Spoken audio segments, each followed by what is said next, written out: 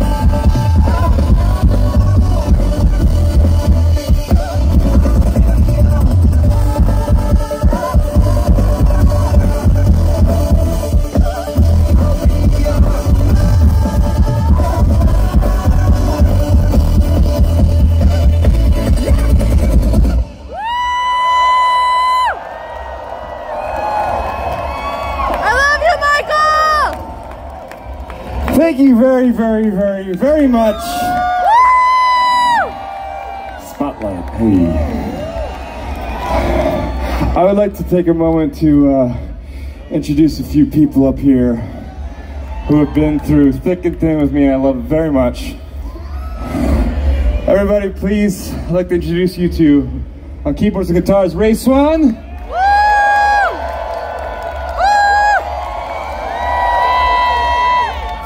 And keyboards, Aaron Foam. And drums and other stuff, Chris Hartz.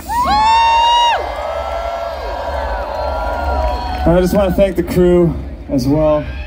Way to the back. Oh, they never get it. They should always get it. And I just want to say these are extremely difficult times. Uh, but, you know, all I can do right now is, is try to make things as positive as possible and as fun as possible. That's it. That's my job right now. And I just want to say I love you all very much and thank you for making this happen together with us. This is a, a communal experience. It's not just us, you, you and us. So thank you very much.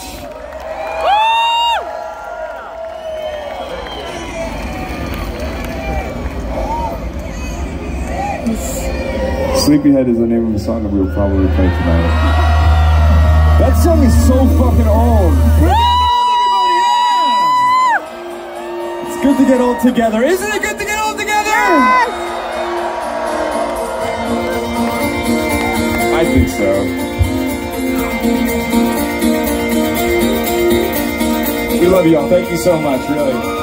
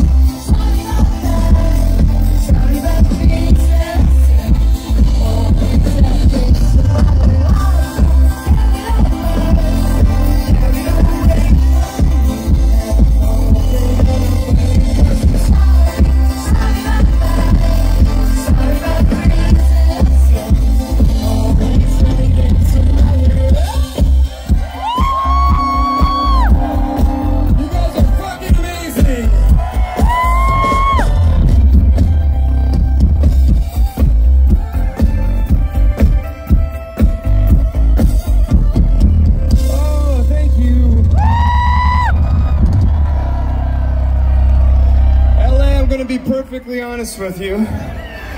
This is my first show completely sober, I think, since becoming an adult. Now, I just, thank you. I just want to share that with you because I was so fucking scared before I got on this stage. So scared. And usually, I didn't realize how, like, together I would be uh, before a show, I guess. And then uh, tonight happened. And my throat was, like, getting really tight. I kept talking to my friends about all this weird shit. And they were like, what are you talking about? And I was like, I don't know. And they left. And, and I, um, and here I am right now, and my throat feels better. I swear to God. I'm not just, I know, I know. But I swear to fucking God, I feel 20 million times better. Thank you so much. That's what you did for me tonight. I hope we're doing something for you. Thank you very much.